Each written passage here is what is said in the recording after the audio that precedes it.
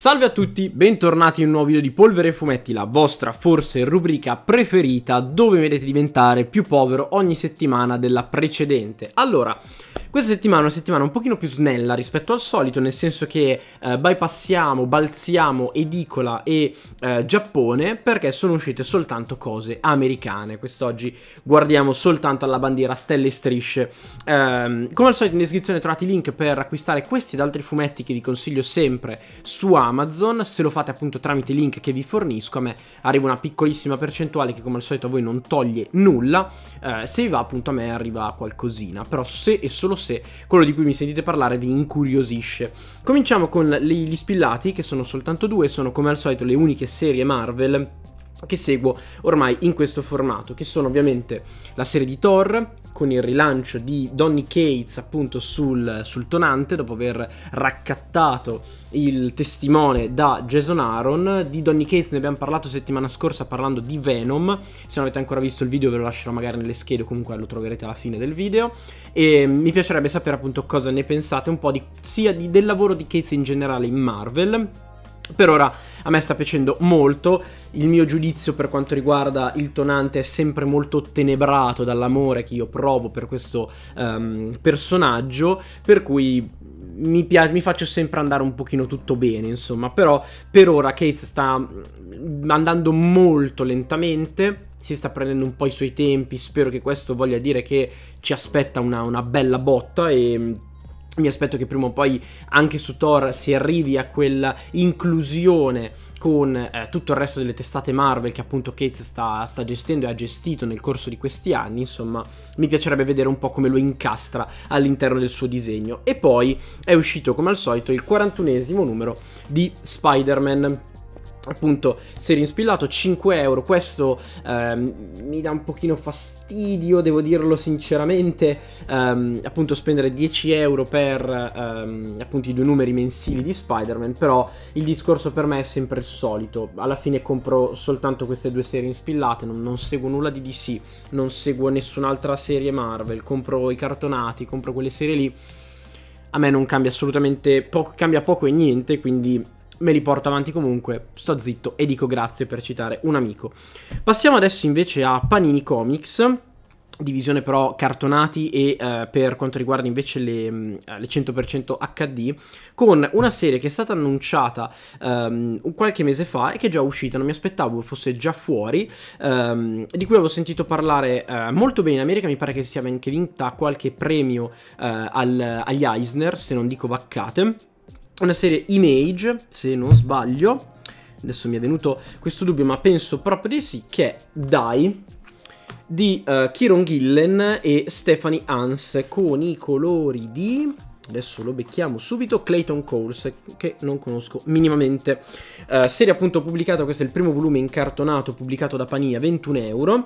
Prezzi sempre un pochino altalenanti che ballano tantissimo. I cuori spezzati del fantasy. Di cosa si tratta? Leggendo l'intro, io l'ho comprato un po' perché appunto ne ho sempre sentito parlare. Dicono che sia veramente molto bello. Stavo per cominciare a seguirlo anche in, in americani, in brossurati americani. Eh, però poi ho visto appunto che la Panini se ne è acquisita i diritti. Ho detto provo a vedere appunto com'è questo primo volume. Eh, l'intro mi ha ricordato un sacchissimo Jumanji perché sembra Jumanji in salsa fantasy. Fondamentalmente ci sono questi ehm, ragazzi che partecipano eh, a questo gioco di ruolo giocano appunto questa partita di un gioco di ruolo fantasy e mm, fondamentalmente vengono risucchiati letteralmente in questo mondo. E mm, dopo 30 anni, esatto, come dice la, il, mm, la, la, la, trama dietro il volume, dopo 30 anni questi, eh, alcuni di questi ragazzi, perché ne, ne, ne riappaiono tutti tranne uno, eh, appunto ritornano nel nostro mondo portandosi dietro tutta una serie di conseguenze appunto che ha portato questa loro sparizione. C'è una cosa che mi fa intrippare un sacco, che probabilmente farà intrippare anche i giocatori di ruolo, cioè che viene continuamente ripetuta la, mm, l'immagine del, del, dado a quattro facce, del, del dado piramidale per capirci, eh, oppure qua sulla costina voi non vedete ci sono dei puntini rossi, ecco sono fondamentalmente la, la ripresa, ah no sembravano dei dadi ma in realtà non lo sono, probabilmente sono le pedine invece del gioco, ecco molto più probabile Però qua invece sì, per esempio, appunto sembrano proprio le, le, i papercraft che vi trovate su internet per stamparvi i dadi, boh, una roba stranissima. Um, allora, Kieron Gillen. Kieron Gillen è un autore con cui ho un, veramente un rapporto molto, tanto, a volte troppo conflittuale, perché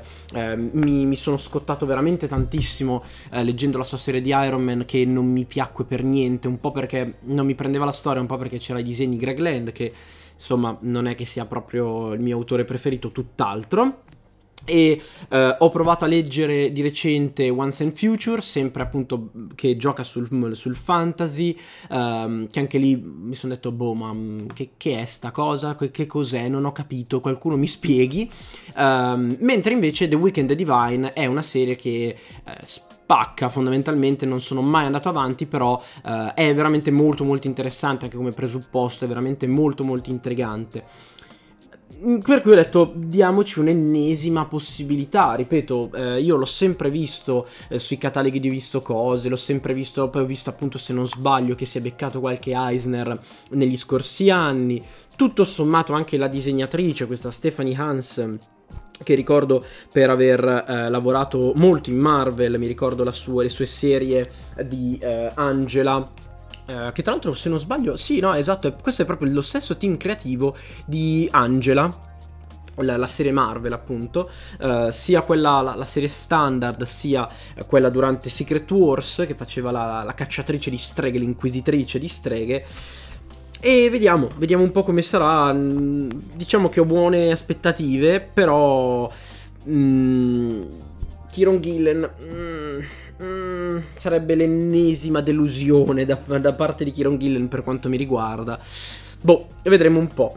È uscito poi anche il secondo numero di un'altra serie di cui vi ho parlato eh, qualche tempo fa che è eh, la serie di Il Billy, un'altra serie di Eric Powell che è uscita insieme al primo volume uscì insieme al primo volume, al primo eh, formato deluxe della serie appunto di The Goon, il, il, capolavoro un po' di Eric Powell e adesso è, uscito anche il secondo numero. Questa è una serie molto molto interessante che ha dalla sua parte un setting molto molto affascinante perché eh, le avventure di questo Rondel, di questo uh, cacciatore di mostri, streghe, spiriti, uh, appunto avviene, le sue avventure avvengono su eh, questa America montuosa, un'America isolata dalle grandi città, dalla civiltà stessa, eh, mon- sulle montagne degli Appalachi, insomma un personaggio molto molto interessante con dei disegni molto molto particolari con questa palette di colori eh, oserei dire quasi molto, molto spenti ma allo stesso tempo molto freddi.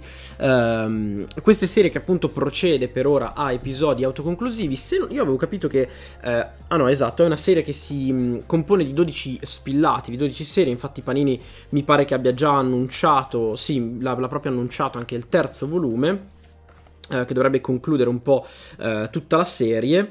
Tra l'altro vedo che c'è anche un, un numero finale disegnato da eh, John Arcudi, l'artista dietro ehm, di Orumble, un'altra serie molto molto interessante, sempre pubblicata da, da, Panini in questa linea 100% HD, tra l'altro spero che si veda qualcosa, che non, non, vada fuori fuoco, insomma è una serie tutto sommato molto molto interessante, eh, niente di particolarmente trascendentale, si vede che era questa idea che appunto Eric Powell aveva in testa, voleva sviluppare, ripeto, il setting è molto molto interessante, il folklore, i personaggi, le creature che Rondell appunto incontra nel suo viaggio sono molto affascinanti, procede appunto in questa maniera episodi autoconclusivi che è un bonus e un malus allo stesso tempo, per cui neanche lui si deve troppo impegnare, tra virgolette, a creare una una storia, inventarsi una storia, una lore, diciamo, che sebbene ci sia una lore eh, all'interno di questa serie, eh, volume al prezzo di 16 euro, giusto per concludere. Passiamo a Marvel, per cui è uscito un altro volume, un'altra serie invece Marvel questa volta,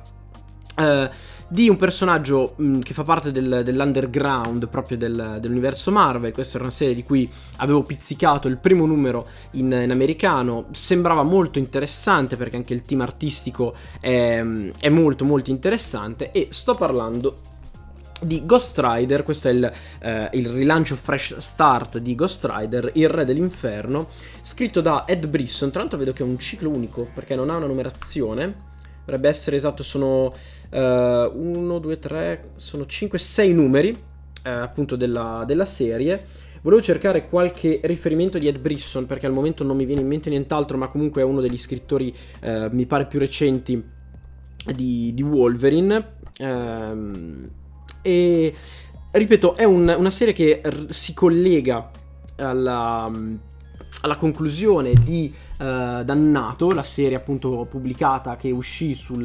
Dannazione, scusatemi, che uscì sulle pagine di Doctor Strange, in cui appunto il nostro Ghost Rider veniva chiamato, c'era questa chiamata alle armi uh, da parte di alcuni personaggi per salvare uh, Las Vegas, che era diventata un vero e proprio enorme... Um, casino, però si giocano le anime per farvi capire, un, un casino in mano a Mephisto, insomma tutto questo genere di cose aveva portato, questa vicissitudine aveva portato il nostro Johnny Blaze, il nostro Ghost Rider a, a rivestire i panni di re dell'inferno. Un, un incipit molto molto interessante, il primo numero comunque mi aveva intrigato, qua sembra che si viaggi anche un po' nella storia proprio di, di Ghost Rider, quello che mi piacerebbe capire è se è una serie che poi prosegue o se si conclude, no, molto probabilmente um, è soltanto un, un piccolo arco narrativo, insomma creato da questi due autori. Tra l'altro non c'è soltanto Aaron Kuder che a me piace molto come disegnatore, ma c'è anche Juan Frigeri che sinceramente non conosco ma che sembra essere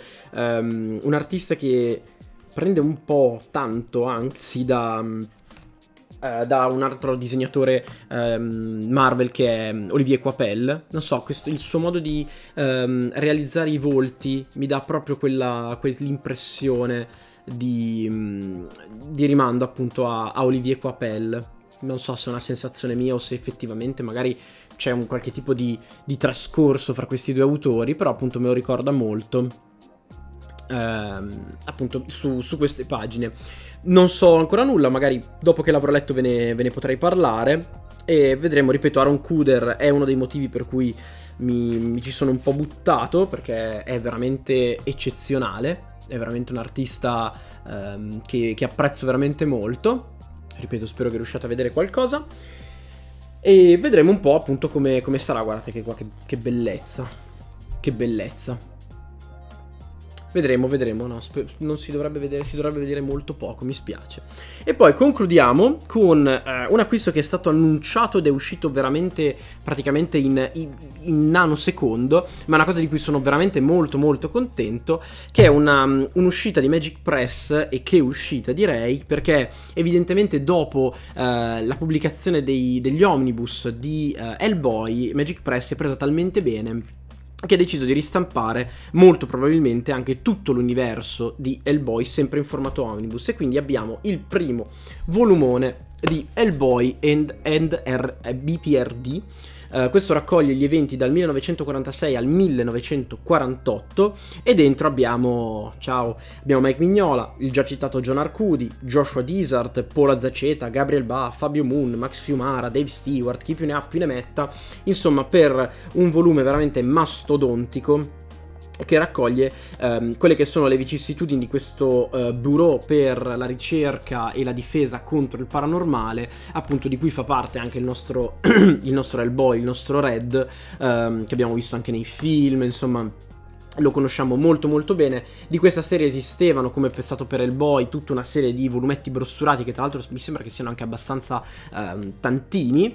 E, e, appunto Magic Press sembra avere l'intenzione di ristampare questa serie anche in questi, eh, in questi omnibus molto molto belli. E poi sono anche abbastanza cicciotti, cioè ce n'è di roba da leggere, ce n'è di sostanza qua dentro. E anche proprio a livello di nomi avete visto che cioè parliamo di gente di tutto rispetto. Non sapevo per esempio che Paula Zaceta avesse prestato le sue matite per eh, disegnare alcune storie di, di Hellboy e sono molto molto contento perché insomma Sembra, sembra, veramente che si trovi a suo agio su questo stile anche John Arcudi, insomma, o, o Fabio Moon, cioè, wow, veramente wow. Non vedo l'ora di leggerlo. Tra l'altro, eh, visto che è uscito questo, mi sono detto, dai, forse è ora di smaltire anche gli altri omnibus, che tra l'altro dovrebbero riempire questo scaffalino qua che vedete costantemente vuoto, ma appena li avrò finiti di leggere, troveranno il loro posto in questo piccolo antro. Fatemi sapere come al solito cosa, vi, cosa avete letto, cosa vi siete comprati questa settimana, mi raccomando, i commenti sono qua sotto, fatelo. In descrizione vi ripeto che trovate alcuni di questi fumetti, anzi sì, quasi tutti questi fumetti su Amazon per poterli acquistare appunto tramite il mio refer. Se vi va di farlo tramite appunto questo link, a me arriva, ve lo ripeto, una cifra simbolica che però a voi non aggiunge nulla, non vi viene tolto nulla assolutamente, se vi va di farlo mi farebbe molto molto piacere e sempre in descrizione trovate i link invece per i miei contatti, come sempre Facebook e Instagram sono i social che, che cerco di usare il più possibile, scarsamente, ma ci provo. Io vi saluto, ci vediamo sicuramente mercoledì con eh, una, una, recensione eh, di un fumetto che si è da poco concluso in, in Italia e, e spero questa, anche questa settimana di riuscire a fare il video per il venerdì. Ci provo, ve lo prometto che ci provo. Ciao Beli!